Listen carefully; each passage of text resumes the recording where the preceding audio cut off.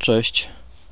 Na mojej papryce Carolina Reaper pojawiły się w końcu owoce.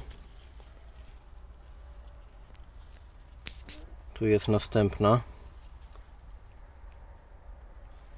Tam jest jeszcze jedna. I jeszcze jedna.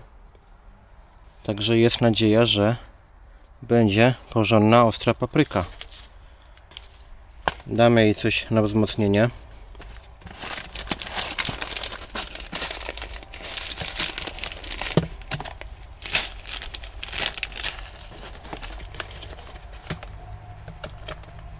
Jedna taka garstka.